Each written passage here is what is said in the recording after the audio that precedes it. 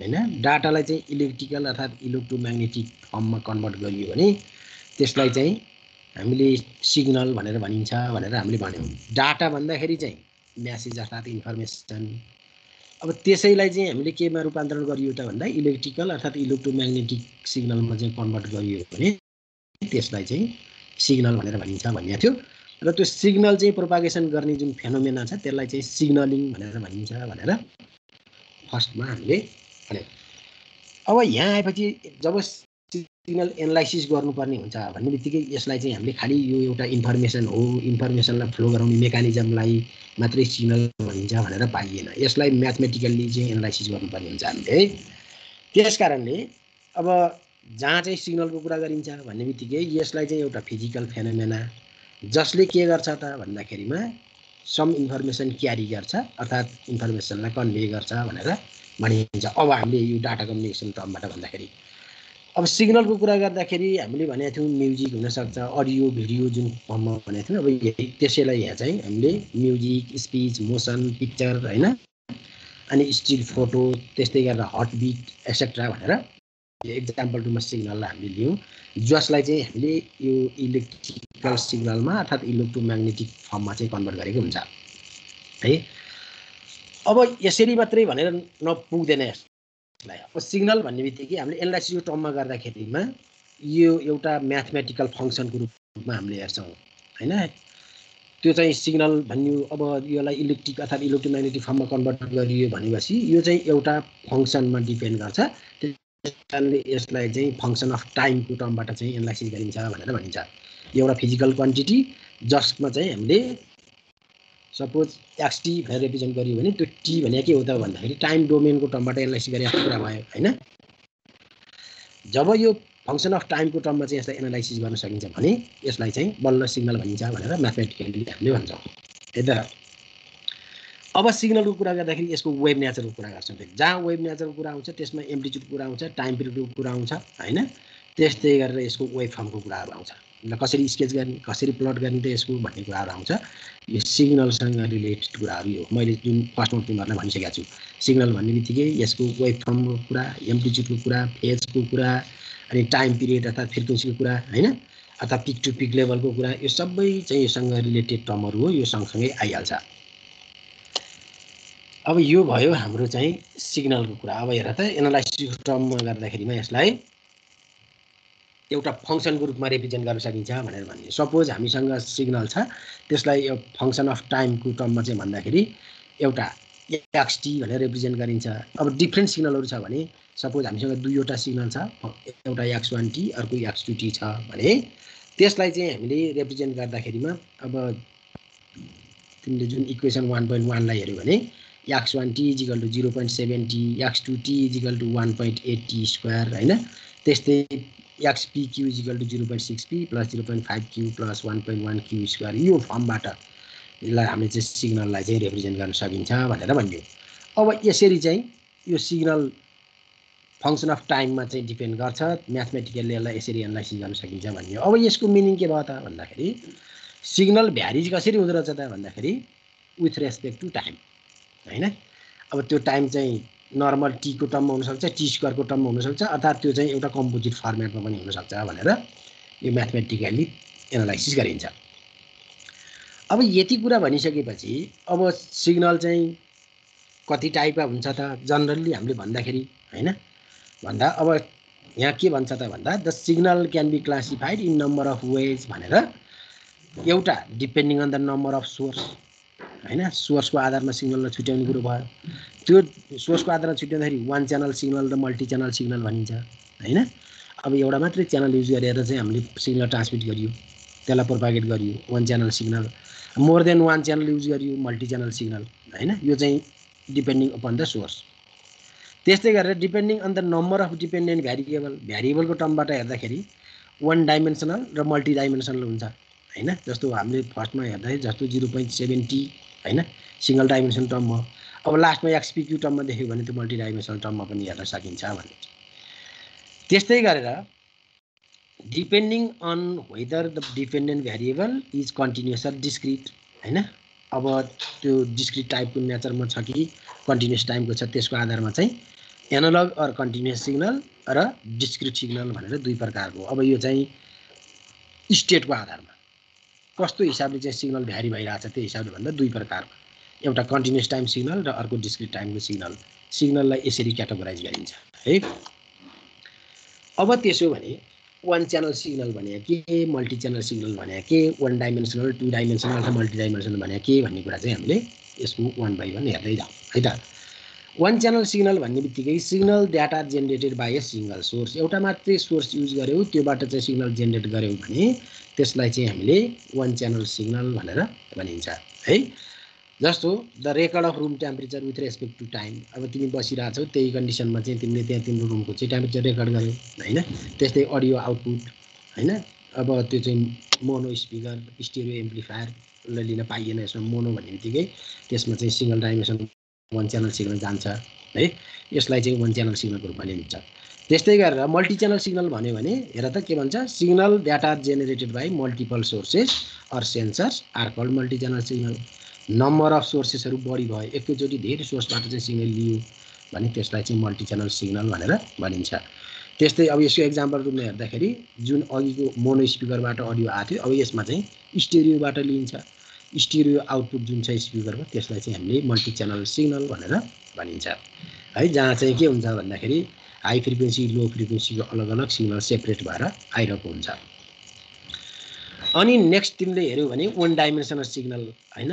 डाइमेन्सनको टर्ममा है त्यो भन्ने बित्तिकै a signal which is function of single independent variable होइन? Is called one dimensional signal एउटा एउटा मात्रै इन्डिपेन्डेन्ट भ्यारिएबलबाट लियो भने त्यसलाई चाहिँ हामीले वान डाइमेन्सनल सिग्नल भनिन्छ। अघिको एक्जाम्पलमा हामीले के लेखाएको थियौँ? यो तिमीले चाहिँ एउटा फङ्सन मान्दाखेरि एउटा जिरो पोइन्ट सेभेन टी भनेर मानेको थियौ वान पोइन्ट वानमा अर्को चाहिँ something zero point seven t square भन अथवा zero point five t square यो टर्मबाट आयो। भने यस्तो टाइपको सिग्नललाई चाहिँ हामीले वान डाइमेन्सनल भनिन्छ। होइन अब त्यस्तै मल्टिपल डाइमेन्सनहरू हामीले युज गऱ्यो भने त्यसलाई चाहिँ मल्टी डाइमेन्सनल सिग्नल भनेर भनिन्छ है त अब। एक्जाम्पल रूपमा चाहिँ हेऱ्यो भने वान डाइमेन्सनल म्युजिक भयो स्पिच भयो हट बिट यो सबैलाई हामीले वान डाइमेन्सनल सिग्नल भनेर भनिन्छ।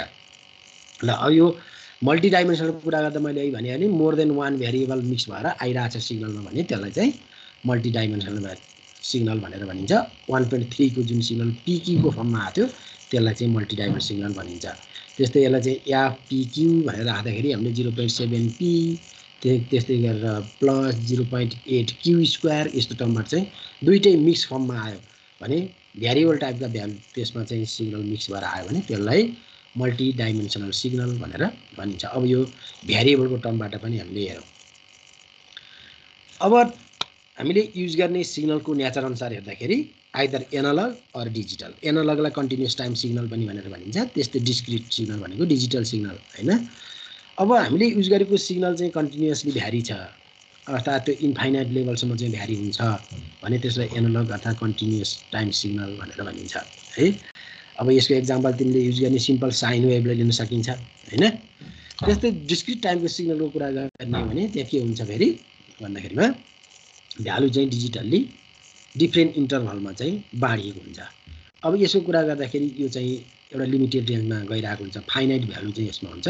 त्यस कारणले डिस्क्रिट सिग्नल भन्ने बित्तिकै त्यो एउटा सर्टेन लेभलसम्म मात्रै त्यो काउन्टेबल हुन्छ अर्थात् फाइनाइट भ्यालु हुन्छ भनेर भनिन्छ। त्यही कुरालाई अब हामीले कन्टिन्युस टाइम सिग्नल र डिस्क्रिट टाइम सिग्नल भनेर डिटेल्ली पढ्दै जान्छौँ। Continuous time signal analog signal भयो जुन चाहिँ के भयो त भन्दाखेरि एउटा इन्डिपेन्डेन्ट भ्यारिएबल टाइमको टर्ममा चाहिँ त्यो भ्यारी हुँदै जान्छ है? र रिप्रेजेन्टेसन गर्दाखेरि त्यसलाई चाहिँ फङ्सन अफ टी अर्थात् त्यसलाई एक्सटीको रूपबाट रिप्रेजेन्ट गर्न सकिन्छ। त्यसै डिस्क्रिट टाइमको कुरा गर्दाखेरि के हुन्छ त भन्दाखेरि त्यो फाइनल लेभलसम्म मात्रै भ्यारी हुन्छ र त्यसलाई चाहिँ नोटेसन रूपमा चाहिँ त्यसले रिप्रेजेन्ट गर्दाखेरि जहाँ टी छ त्यसलाई चाहिँ याक्स ब्राकेटमा यान क्यापिटल के अरे लार्ज ब्राकेटभित्र यानले चाहिँ रिप्रेजेन्ट गरिन्छ। अब यसमा चाहिँ फाइनाइट भ्यालु हुन्छ भनेर भनिन्छ है? अब डिजिटल सिग्नल भनेको यही हो। डिजिटल सिग्नल भन्ने बित्तिकै डिस्क्रिट लेभलको सिग्नललाई नै हामीले रिप्रेजेन्ट गरिन्छ। जहाँ डिजिटल सिग्नलको कुरा गर्ने बित्तिकै how to convert analog signal into digital भन्ने कुरा आउँछ होइन? अब एनालग सिग्नललाई डिजिटलमा कन्भर्ट गर्नका लागि हामीले के गर्छौँ त भन्दाखेरिमा तिमीहरू सबैलाई थाहा छ पहिला स्याम्पलिङ गरिन्छ स्याम्पलिङ गरिसकेपछि क्वान्टाइजेसन गरिन्छ त्यस पछाडि बल्ल के गर्ने भयो त त्यसलाई हामीले कोडिङ गर्ने भयो यो प्रोसेसबाट बल्ल त्यो एनालग सिग्नललाई डिजिटलमा कन्भर्ट गर्न सकिन्छ भनेर भनिन्छ है त। यो चाहिँ हाम्रो डिजिटल सिग्नलको कुरो भयो। अब सिम्पल सिस्टमको कुरा गरौँ अब यो इन्ट्रोडक्सनमै छु म। अब डिटेलली त पछि भन्दै जाउँला। सिस्टमको कुरा गर्दाखेरि यसलाई एउटा ब्ल्याक बक्सको रूपमा चाहिँ हामीले लिन्छ। जसले कुनै पनि सिग्नललाई प्रोसेसिङ गर्ने काम गर्छ। प्रोसेसिङ गर्ने डिभाइसलाई हामीले सिस्टमको रूपबाट एनालाइसिस गर्छौँ। तिमीले कुनै सिग्नल दियो त्यसले प्रोसेस गर्यो त्यसले एउटा आउटपुट निकाल्यो अर्थात् त्यसलाई रेस्पोन्स भनिन्छ आउटपुटलाई। त्यसरी निकाल्ने जुन डिभाइस छ अर्थात् सिस्टम छ त्यसलाई नै हामीले सिस्टम भनिन्छ। र त्यो सिस्टमलाई जनरलाइज गर्दाखेरि हामीले भन्ने कमन टर्म भनेको चाहिँ it is a black box हो होइन? यसलाई चाहिँ एउटा ब्ल्याक बक्स रूपमा लिन्छ जसले कुनै पनि सिग्नल इनपुट पाउने बित्तिकै त्यसलाई के गर्छ? प्रोसेसिङ गर्छ र आउटपुट रूपमा चाहिँ रिप्रेजेन्ट गर्छ।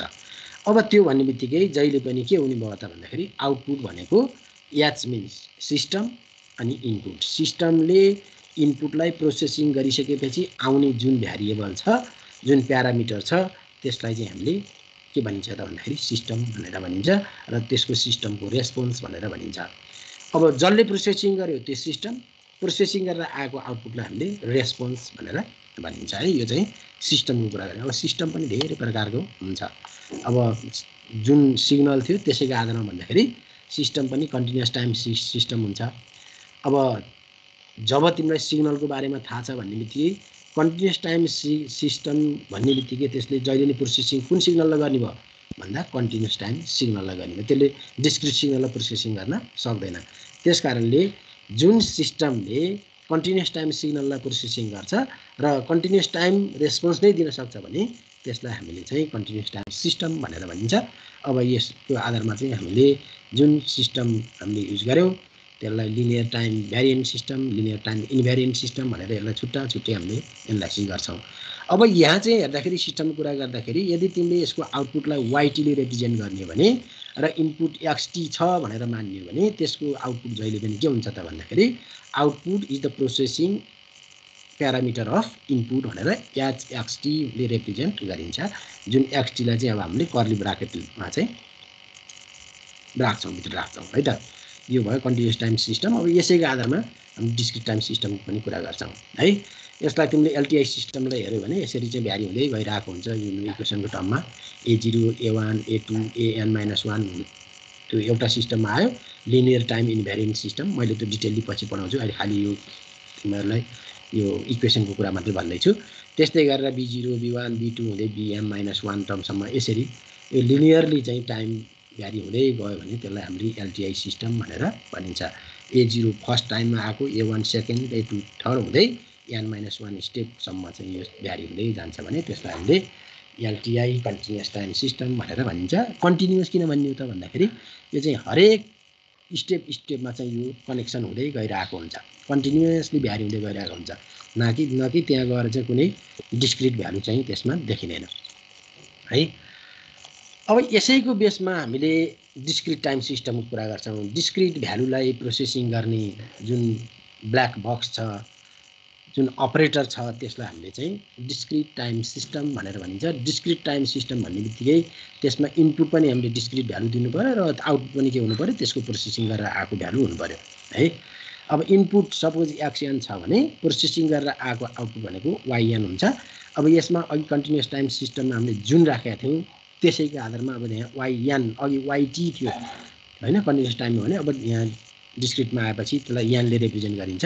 Y n is the output response that is equal to के हो त भन्दाखेरि processing of input value that is x n हो यसरी चाहिँ हामीले यसको आउटपुटलाई एनालाइसिस गर्न सक्छौँ। यो चाहिँ discrete time system which processes the discrete value होइन अनि आउटपुट पनि के हुन्छ यसको? डिस्क्रिट नै हुन्छ।